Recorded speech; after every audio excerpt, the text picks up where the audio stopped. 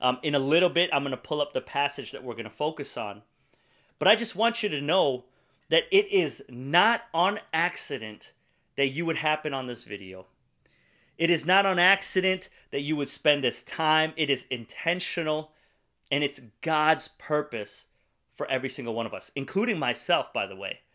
This is something that God is working in me and God is working in you. Amen. Do you believe that? So we're going to go to Numbers chapter 6 and we're going to read it together um, in a little bit. But I just want to give you that opportunity to to get there, to get there with your with your Bible. Before we get to Numbers chapter 6, I want you to consider what it is that God is speaking to you every day. Because I think we forget that God could be saying something to us right now, that God could be saying some to, something to us at our workplace, that God could be saying something to us when we're trying to go to sleep or in our dreams. I think we forget that God is constantly trying to communicate with his children. And if you have put your faith in Jesus, then you can be confident and assured that God loves you and wants to communicate with you. He's not trying to seem like a distant God. I know there are times where he feels distant, but he is constantly trying to speak to you. And the thoughts that God has for you, by the way, are more than you could even imagine. They're higher and greater than you can even fathom for yourself, that you could even dream for yourself. And so when we think about God's word, I want us to consider that this is an honor. This is the highest privilege, one of the highest, if not the highest privilege, that we could have the words of the Father written down for us to access anytime we want. You know, if I need access to you, if I need access to my wife to communicate, I got to call.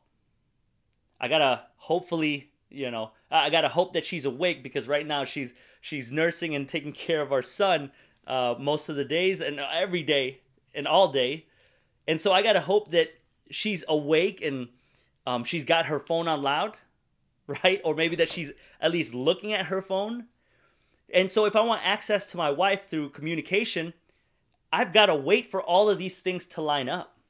I've got to wait for um, all of these things to come into play so that she actually picks up the phone when she sees me calling first of all wants to talk to me. And then when she sees me calling she picks it up and we get to talk. And hopefully the signal works right? Eh, again if i'm not home hopefully the signal works and there's nothing going on with the satellites. There's nothing going on where i'm in an elevator or she so i don't know will some point be in an elevator? You're going through a tunnel. Hopefully the signal works right? And there's all these things that have to line up just for you to have access to the person that you're trying to talk to. But with god you put your faith in Jesus, and He tears the curtain, the veil, in two. The curtain that separated us from His most holy presence, He tears it in two so that you can have direct access to God through the sacrifice and breaking of Jesus' body. And it's this privilege that we get to also partake in when we read His Word that we can access His words anytime that we want. Especially if you have something that you're watching this on, and you, which means you have internet, you have a device that can connect to the internet, you have access to the words of God. You have access to the Bible. And I want to encourage you to consider how much of a privilege it is for us to have this direct, consistent, guaranteed access to the Father. And so, with that in mind, let's read Numbers chapter 6 in the NIV. Hopefully, I'm standing in the right spot. Ah, all right.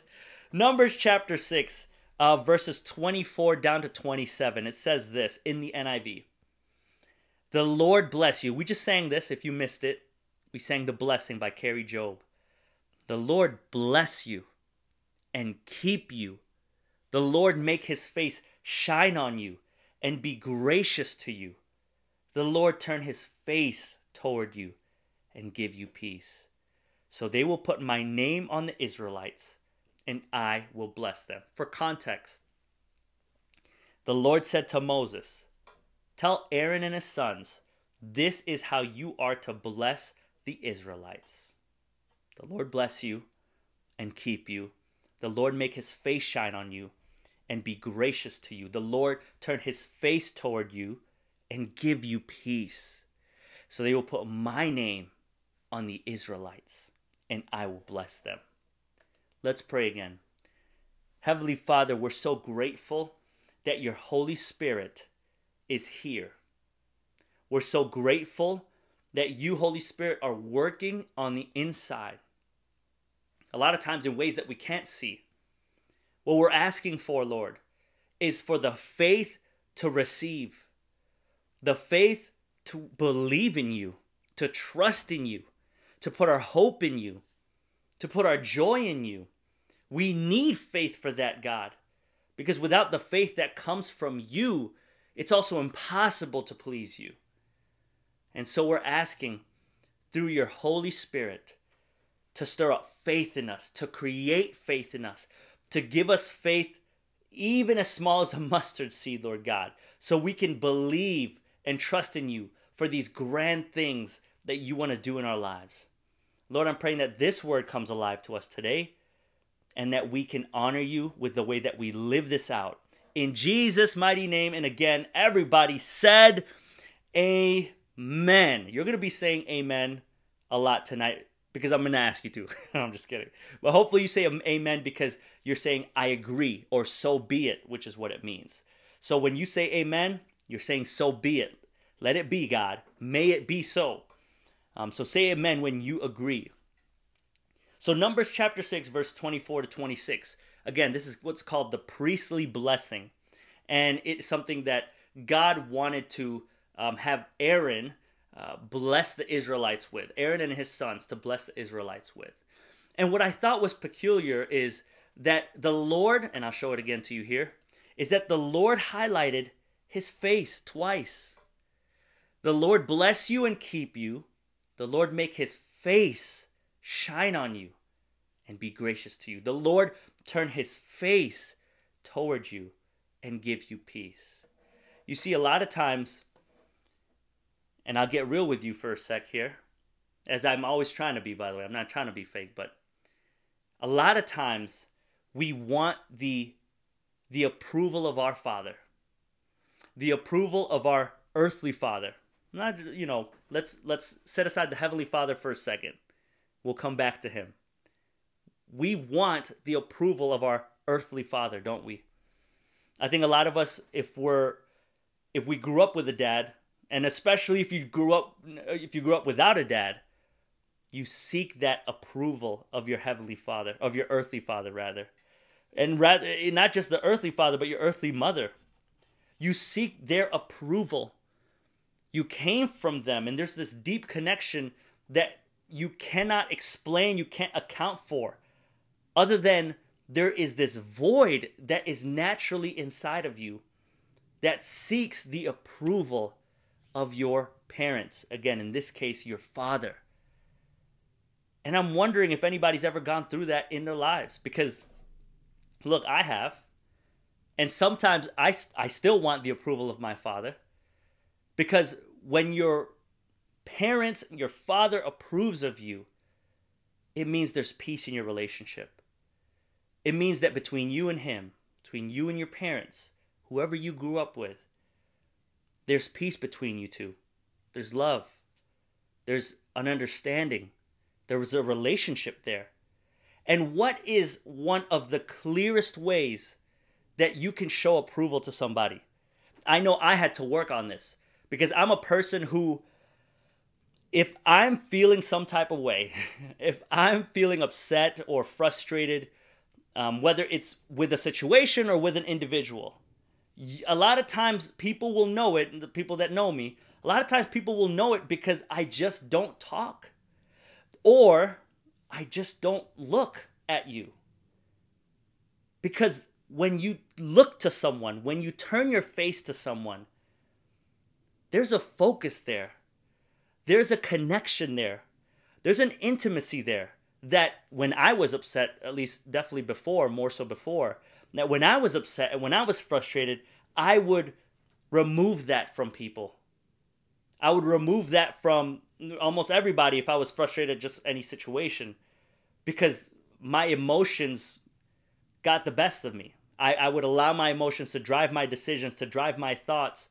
And so I would remove that approval, that intimacy, that focus from people to show that I was upset, to show that I was frustrated.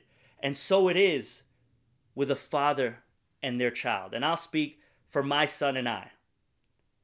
My son does not have to do anything for me to turn my face toward him. Because I want to show him that my eyes are on him, that I already approve of him. I'm already proud of him before he's ever done anything in this life. Just by existing, I'm proud of him. I love him. I look forward to what he's to do next even if it is sometimes, you know, to, to, to shoot a stream of pee in my face. I love him.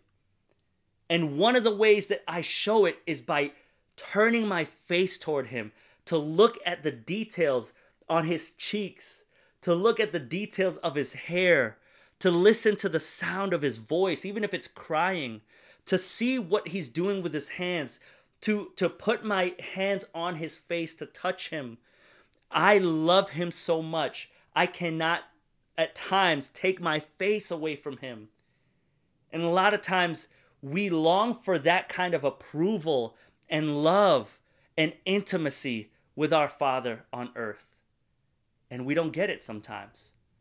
And some of us, we do. We're privileged enough and blessed enough to get it. But whatever your experience is with your earthly father, this is what your Heavenly Father wants you to know today that He wants to bless you by turning His face toward you. And what does turning His face toward you mean? He wants to turn His face toward you to show you His grace, to show you His love, to show you His approval that He's not mad at you and that you have peace and intimacy, a relationship with Him. That's what your Heavenly Father wants to show you today.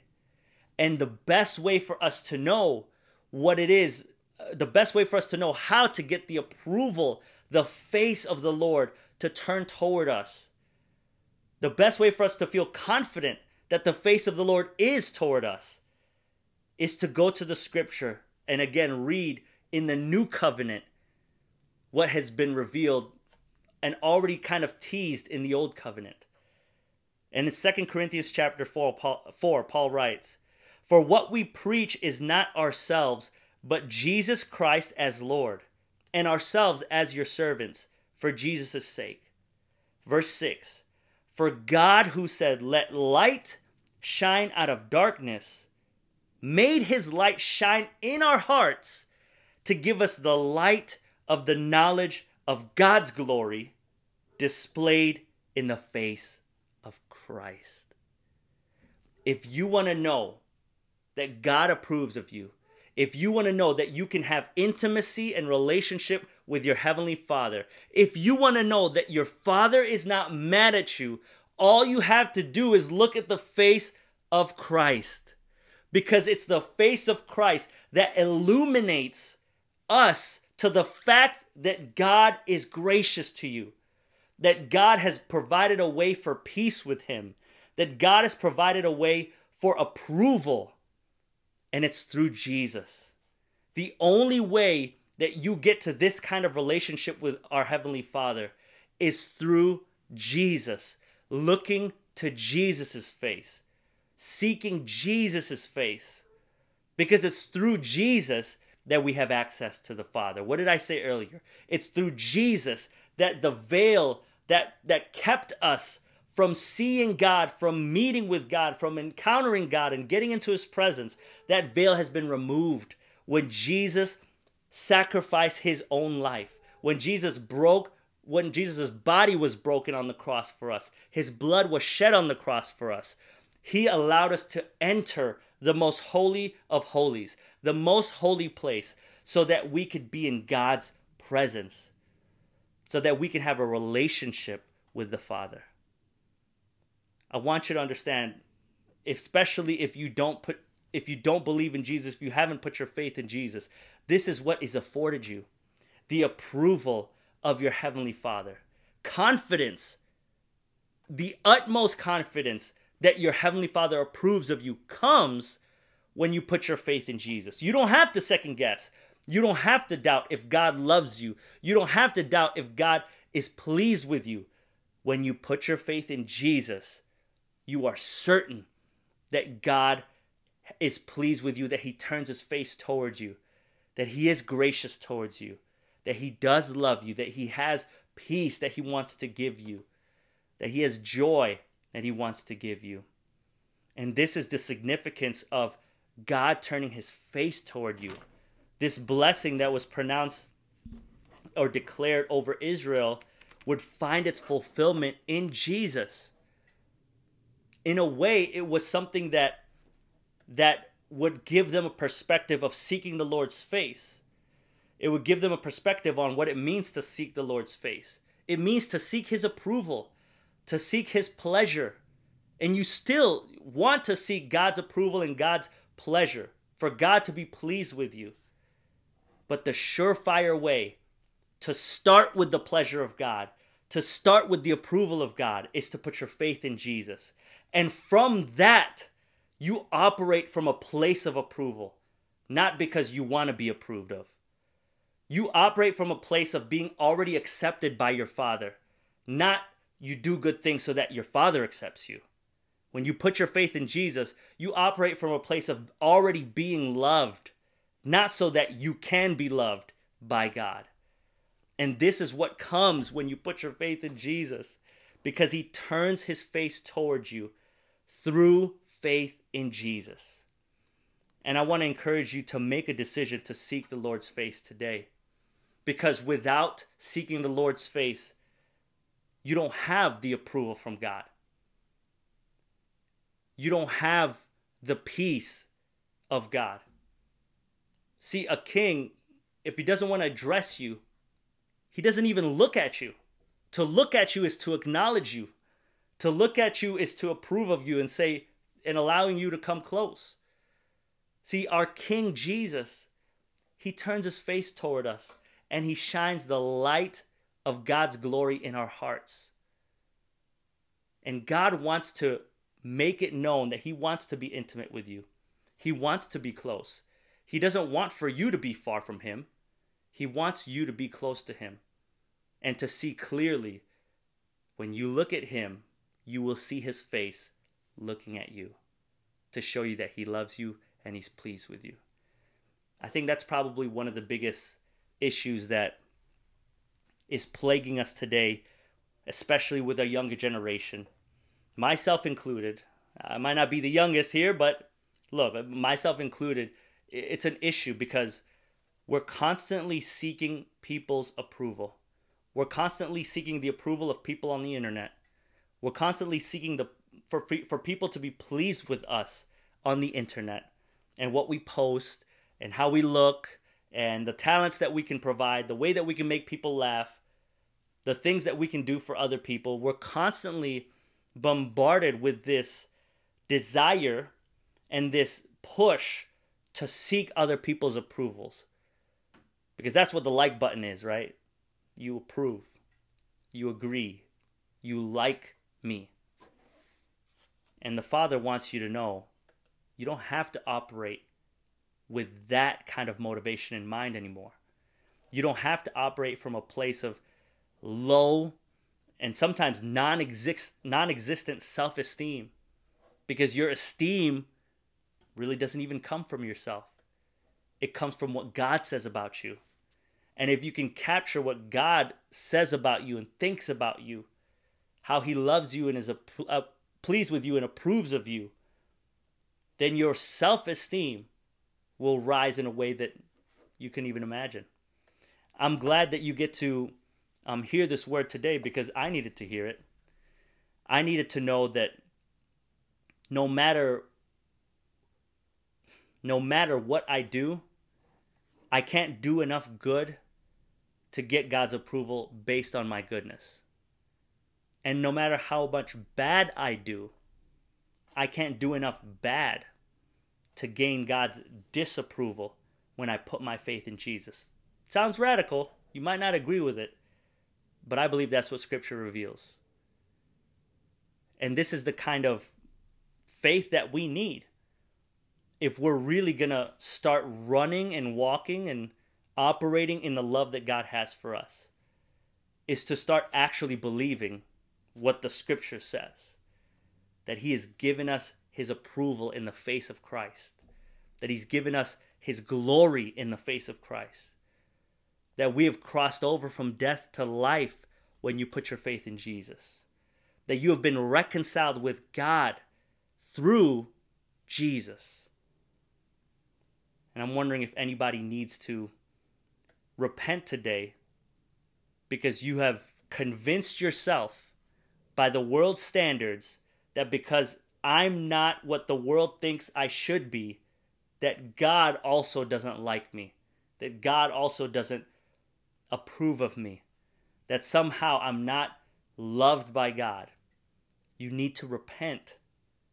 Turn to the scripture. Turn to the truth of the word of God once again so that you don't allow the world's influence to change how you see God and how you think God sees you. All you have to do is look at Jesus to know what God thinks of you. All you have to do is look to Jesus to know what God would say to you because Jesus is God. I want to pray for you tonight um, and give you the opportunity as well to make this decision either to turn to Jesus for the first time and seek his approval, to seek his face, or to repent from how how much you've taken it for granted that Jesus approves of you before you ever did anything right. That when you put your faith in him, that was the only thing you needed to do to get his approval. That was the only thing that would qualify you for his peace. Again, not your works, not your consistency, not your accomplishments, but your faith in him and his grace towards you. If you need to repent from that lazy, lazy faith in the sense that you don't want to do work to actually believe. Sometimes that's what we think we're doing when we're working so hard to get God's approval is we're working. No, but it's actually more lazy in your faith because you're only trusting in what you know, which is yourself. You're only trusting in your own deeds. And so it's lazy faith because you're not really putting your faith in anything at all except yourself, which what you already know. So it takes faith, it takes a challenge to your faith to actually believe this about Jesus, to actually believe this about God, that He approves of you when you put your faith in Jesus, and then to operate in that approval. If you need this, I want to pray for you. Heavenly Father, thank you that you've given um, me and every single person um, on this video an opportunity to turn to you once again. God, we need you. We know that we can't even understand the scripture without you. And we're asking that you help us to navigate these convictions that you're giving us, these thoughts and emotions that you're allowing us to experience. Give us grace, God, to make a decision of faith. Empower us, embolden us, help us to make a decision of faith in Jesus, your Son, so that when we do, we could be confident in your approval. We can be confident in the peace that you give us through that faith in Jesus, your Son. I pray, Lord, for anybody that has yet to make that decision, that you help them, Lord. Surround them with godly people, surround them with godly influence. And I pray, Lord, for all those who need to repent, um, including myself, Lord God, from a lazy faith that only trusts in ourselves and what we know. Help us, God. Challenge us from the inside out, Holy Spirit to give up the things that we think we know, to give up even the experience that we have for the sake of going on this journey of trusting in you and following you where you lead us. So that when we operate and move in this world, we operate from a place of already approved, of already loved, of already given peace, of already being intimate with you, of already being in love with you and loved by you. And Lord, thank you so much that you want us to draw near. Thank you that you don't want us to stay far. You want us to draw near to you, to become even more intimate with you.